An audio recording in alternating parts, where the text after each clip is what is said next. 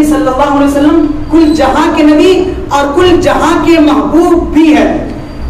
دیکھیں، جب آپ صلی اللہ علیہ وسلم کو حضرت حلیمہ اپنے گھر پہ لے گئے، وہیں پہ پرورش پانے لگے آپ صلی اللہ علیہ وسلم۔ ایک مرتبہ کا واقعہ ہے کہ اس کی بیٹی شیما، وہ بکری پہ نہیں جا رہی ہے۔ بکری کو لے کر کے چراگاہ نہیں جا رہی ہے۔ ان کی امی کہنے لگی دن اتنا چڑھ چکا ہے، دس گیارہ بج گیا۔ تم بکری کو لے کر کیوں نہیں جا رہی ہو؟ تو کہنے لگی کہ سارے بکری ہیں، میں اکیلے تھک جاتی ہوں، میں نہیں جاؤں گی۔ تو اس کی اماں کہنے لگی کہ میں بوڑھی ہوں، باپ بھی بوڑھا ہے، اور جوان گھر میں تمہیں ہوں، تمہیں کو لے کر کے جانا پڑے گا۔ تو کہنے لگا کہ نہیں، یہ بھائی جو چھوٹا محمد ہے نا، ان کو اگر آپ میرے ساتھ بھیجیں گے، تب میں بکری کو لے کر کے جاؤں گی۔ تو حلیمہ کہنے لگی، تم کہنا کیا چاہتی ہو؟ ایک تو بکری اتنی ساری اور ان چھوٹے سے بچوں کو لے کر کے جاؤ گے، تم اور پریشان ہو جاؤ گے. تو شیما کہنے لگی کہ، نہیں اماں، ایسی بات نہیں ہے۔ ایک دفعہ میں اپنے بھائی محمد کو جب بکری کے چراگاہ میں لے کر کے گئی تھی، تو میں نے تین چیزیں بڑی عجیب نوٹ کی۔ تین چیزیں کہ جب میں بھائی محمد کو بکری کے چرانے کے لیے لے کے گئی، تو ایک راہب راستے سے گزرا۔ وہ راہب آیا اور نبی صلی اللہ علیہ وسلم کو دیکھے تو خوب پیار کیا۔ انہیں خوب پیار کیا اور وہ کہنے لگا کہ یہ جو تیرا بھائی ہے نا، یہ بڑا مقام پائے گا۔ اس کو بہت بلندی ملے گی۔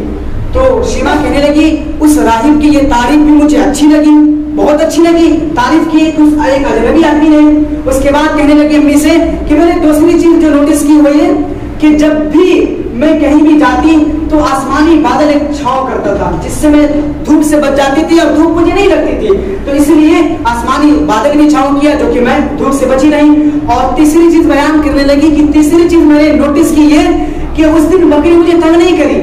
بکری ساری بکریاں جلدی جلدی اپنی گھاس چڑی اور سارے لوگ آ کر کے ارد گرد ہلکے بنا کر کے بیٹھ گئے۔ اور میں بھی اپنے بھائی کا چہرہ دیکھ رہی ہوں اور یہ سارے بکریاں جھوٹ بنا کر کے میرے بھائی کا چہرہ دیکھ رہے تو کہنے لگی کہ اس لیے میرے بھائی جو چھوٹا محمد، اس کو میرے حوالے کرو، تب میں بکری چرانے کے لیے جاؤں گی۔ تو نبی صلی اللہ علیہ وسلم کل جہاں کے محبوب، نباتات کے نباتات کے بھی محبوب، جمادات کے بھی محبوب، ساری کائنات کے محبوب۔ دیکھیے، حیوانات کے محبوب۔ آپ صلی اللہ علیہ وسلم جب دنیا سے رخصت فرمائے نا، جب دنیا سے رخصت فرمائے، تو آپ صلی اللہ علیہ وسلم کی ایک اونٹنی تھی۔ یہ غمگین ہو گئی، پریشان ہو گئی، کیونکہ پیار کرتی تھی نا۔ وہ پریشان ہو گئی۔ اور اس کے بعد آپ صلی اللہ علیہ وسلم کے پردہ فرمانے کے بعد سارے مدینہ والے وہ اس اونٹنی کے سامنے کھانا پیش کر رہے ہیں، تو اونٹنی کھانا نہیں کھا رہی ہے۔ غمگین ہو رہی ہے۔ جب لوگوں نے زیادہ تنگ کیا، تو وہ اونٹنی اس جگہ کو چھوڑ کر کے جنت الباقی میں چلی گئی۔ اور وہیں پہ دن بھر بیٹھی رہی۔ اور نبی صلی اللہ علیہ وسلم کی یاد میں وہ اونٹنی رو رو کر، رو رو کر بے حال رہی اور کچھ کھانا بھی نہیں کھائی، بلکہ بھوکی اللہ کو پیاری ہو گئی۔ اللہ اکبر۔ تو یہ جانور بھی نبی صلی اللہ علیہ وسلم سے پیار کرتے تھے۔ پھر انسان تو انسان ہے کہ جانور بھی اپنی جان کی قربانی پیش کی، تو انسان تو انسان کے اپنے آپ کو سب لوگوں نے قربان کر دیا صحابہ کرام نے۔ ایک ایسی ہی، ایک واقعی، ایک حجت الوداع کے موقع پہ آپ صلی اللہ علیہ وسلم نے بہت ساری اونٹ کی قربانی پیش کی۔ تو سارے جو اونٹنی تھی نا، سارے اونٹ، وہ اپنے گردن کو اونچا کر رہے ہیں کہ پہلے میں قربان ہو جاؤں، پہلے میں قربان ہو جاؤں، کہ پہلے مجھے قربانی پیش کی جائے۔ تو نبی صلی اللہ علیہ وسلم جانور کے بھی محبوب، جانوروں کے بھی نبی۔ آپ صلی اللہ علیہ وسلم نباتات کے بھی محبوب۔ نباتات کہتے ہیں اگنی والی چیزوں کو۔ نبی صلی اللہ علیہ وسلم حدیث پاک میں آتا ہے کہ جب نبی صلی اللہ علیہ وسلم راستے سے گزرتے تھے، تو یہ درخت بھی سلامی پیش کرتے تھے۔ اور امی عائشہ بیان کرتی ہیں کہ جب آپ صلی اللہ علیہ وسلم قضاء حاجت کے لیے باہر جاتے تو یہ سارے درخت اپنی جگہ سے اکڑ کے نبی صلی اللہ علیہ وسلم کے ارد گرد ہلکے ہلکے بنا دیتے، جس سے کہ پردے ہو جاتے۔ اللہ اکبر۔ نباتات کے بھی محمود صلی اللہ علیہ وسلم۔ نبی صلی اللہ علیہ وسلم پہلے خطبہ دیا کرتے تھے کہ سوکھی ٹہنی تھی اور اس کے سہارے سے خطبہ دیا کرتے تھے۔ حضرت تمیم دانی رضی اللہ تعالیٰ جب اسلام قبول کی، پیش کیے تو نبی صلی اللہ علیہ وسلم کے ایک ممبر پیش کیے، ممبر بنا کر کے پیش کیے۔ تو یہ اس کھمبے کی ضرورت نہیں رہی تو یہ کھمبے کو نبی صلی اللہ علیہ وسلم نے سائڈ کروا دیے۔ ایسی نبی صلی اللہ علیہ وسلم بیان کر رہے صحابہ کرام کے سامنے، جو میں نے خطبہ دے رہے ہیں۔ اور ایک بچے جیسی رونے کی آواز آ رہی ہے۔ بچے جیسی رونے کی آواز آ رہی ہے۔ صحابہ نے کہا، یہ آواز کیسی ہے؟ تو نبی صلی اللہ علیہ وسلم نے فرمایا کہ یہ جو یہ جو اٹھنی ہے، یہ جو ٹہنی تھی کھجور کی یہ میری جدائی میں رو رہی ہے، کیونکہ میری جدائی سے پسند رہی ہے۔ تو سوکھی کھجور کی ٹہنی بھی نبی صلی اللہ علیہ وسلم سے پیار کر رہی ہے اور جدائی برداشت نہیں کر پائی۔ تو نبی صلی اللہ علیہ وسلم نباتات کے بھی محبوب اور نباتات کے بھی پیغمبر۔ اس پہ ہمیں کروڑوں واقعہ پیش کر سکتا ہوں لیکن اپنے پاس وقت کم ہے؟ نبی صلی اللہ علیہ وسلم جمادات کے بھی محبوب۔ جمادات کہتے ہیں، جمی ہوئی چیز، پتھروں۔ تو نبی صلی اللہ علیہ وسلم پتھروں کے بھی محبوب ہے۔ نبی صلی اللہ علیہ وسلم جبل احد پہ کھڑے ہیں ساتھ میں ابو بکر ہے ساتھ میں عمر ہے عثمان ہے یہ تینوں چاروں لوگ وہاں پہ ہیں۔ تو یہ جو یہ جو پہاڑ کی جبل تھی نا یہ ہلنے لگی خوشی کے مارے مچلنے لگی۔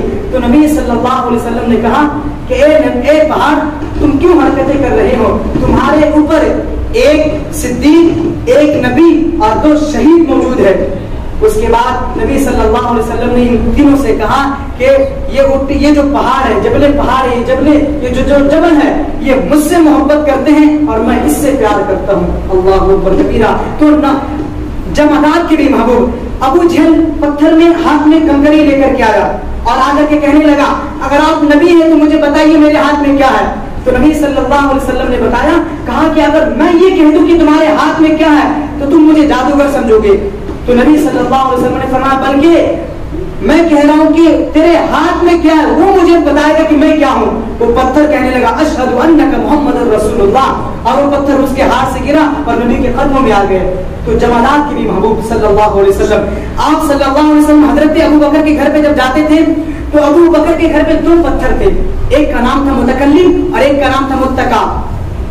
اس کا نام متکلم اس لیے پڑ گیا کہ جب بھی آپ صلی اللہ علیہ وسلم ابو بکر کے گھر میں جاتے تو ایک پتھر سلام کیا کرتے تھے اور ایک کا نام متقا پڑ گیا کہ اس پہ نبی صلی اللہ علیہ وسلم ٹیک لگا کر کے بیٹھا کرتے تھے تو اس لیے اس کا نام متقا پڑ گیا اللہ اوپر تو نبی صلی اللہ علیہ وسلم جمادات کے بھی محبوب ہے نباتات کے بھی محبوب ہے حیوانات کے بھی محبوب ہے نباتات کے بھی محبوب ہے جمادات کے بھی محبوب ہے اور یہ ساری کائنات نبی صلی اللہ علیہ وسلم کے لیے بنائی گئی ہے ساری کائنات نبی صلی اللہ علیہ وسلم کی نہیں بنائی اس لیے کہ نبی صلی اللہ علیہ وسلم مقصد کائنات ہے۔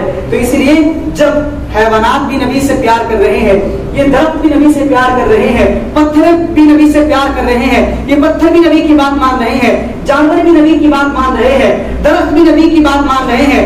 درخت کو بھی پتا ہے نبی کی کیا عظمت ہے، پتھروں کو بھی پتا ہے کہ نبی کی کیا عظمت ہے، جانوروں کو بھی پتا ہے کہ نبی کی کیا عظمت ہے۔ تو پھر ہم انسان کیوں بھول گئے؟ ہم انسان کیوں نبی کی عظمت کو بھول گئے؟ ہم ان کی سنتوں کو کیوں دور کر لیے اپنی زندگی سے؟ کیوں نہیں اپنا رہے ہیں؟ اللہ اکبر اپنانی چاہیے نہیں اپنانی چاہیے؟ ارے ساری کائنات جب نبی صلی اللہ علیہ وسلم کی عظمت کا قائل ہے، تو ہم کیوں ان کو چھوڑ کر کے بیراہ نبی والی زندگی گزار رہے ہیں؟ اس لیے آج سے عہد کرے ارادہ کرے نبی صلی اللہ علیہ وسلم کی محبت ساری کائنات سے زیادہ دل میں رہے گی۔ رہے گی انشاءاللہ۔ نبی صلی اللہ علیہ وسلم کی ذات سے بھی ہمیں محبت ہے اور نبی صلی اللہ علیہ وسلم کی بات سے بھی ہمیں محبت ہے۔ کریں گے انشاءاللہ۔ تو نبی صلی اللہ علیہ وسلم کی بات بھی سب سے آگے ہماری ہوگی اور ذات بھی سب سے آگے رہے گی۔ تو اسی لیے ہر موقع کے لحاظ سے نبی صلی اللہ علیہ وسلم نے باتیں بتائی ہے تو ہر موقع کے لحاظ سے وہ باتیں کی تعظیم کرنی ہے اور ہر موقع کے لحاظ سے ہمیں نبی صلی اللہ علیہ وسلم کو یاد رکھنا ہے۔ ہر آن، ہر گھڑی نبی کی محبت ہمارے دل میں ہونی چاہیے۔ نبی کی محبت کے بغیر جو پل گزرے، وہ پل مومن کا دل، وہ دل مومن کا دل نہیں ہو سکتا۔ ہے اس لیے ہر پل، ہر گھڑی، ہر آن، ہر لمحہ نبی سے محبت